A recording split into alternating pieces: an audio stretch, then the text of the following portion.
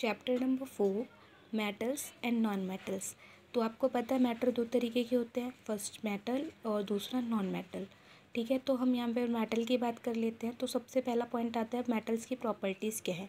Metals की properties में कुछ गिनी चुनी प्रॉपर्टीज़ आते हैं, जैसे कि लस्ट्रस होगा, यानी चमक वाला होगा मेलेबल यानी पतली शीट में कन्वर्ट करा जा सकता होगा डक्टाइल वायर में कन्वर्ट किया जा सकता है good conductor of heat and electricity. इसके बाद अगर वो ऑक्सीजन के साथ रिएक्ट करेगा तो मेटल ऑक्साइड फॉर्म करेगा।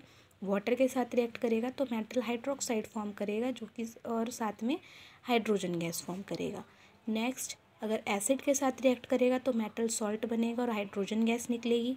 अगर बेस के साथ रिएक्ट करेगा तो हाइड्रोजन गैस निकलेगी। नेक्स्ट है आपका डिस्प्लेसमेंट रिएक्शन शो करता है।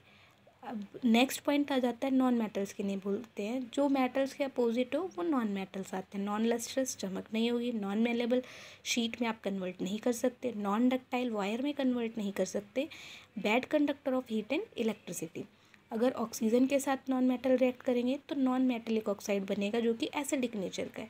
वाटर के साथ रिएक्ट करेंगे तो कोई रिएक्शन नहीं होगी एसिड के साथ रिएक्ट करेंगे तो भी कोई रिएक्शन नहीं होगी। यूजेस पे आ जाते हैं तो यू मेटल्स का यूज़ मशीनरी बनाने में ऑटोमोबाइल्स बनाने में एरोप्लेन्स बनाने में ट्रेन्स बनाने में सैटेलाइट्स बनाने में इंडस्ट्रियल गैजेट्स बनाने में कुकिंग यूटेंसिल्स बनाने में, सब जगह पर किया जाता है।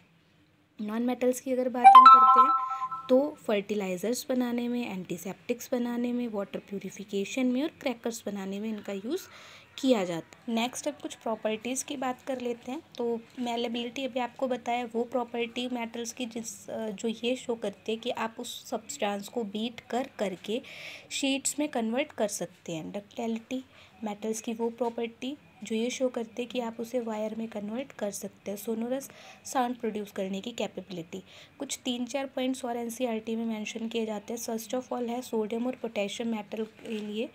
तो यहाँ पर सोडियम एन ए होता है, पोटेशियम के होता है। तो सोडियम और पोटेशियम दोनों बहुत सॉफ्ट होते हैं, इन्हें आप नाइफ से भी कट कर सकते हैं।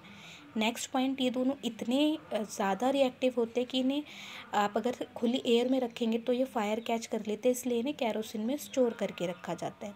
नेक्स्ट पॉइंट, सिर्फ़ और सिर्फ़ एच जी यानी कि मरकरी एक ऐसा मेटल है जो कि लिक्विड स्टेट में मिलता है। नेक्स्ट आ जाते हैं। कॉपर से रिलेटेड एक पॉइंट आता है कि कॉपर को अगर आप मॉइस्ट चेयर में रख देते हैं तो उस पर ग्रीन कलर की कोटिंग क्यों पड़ जाती है?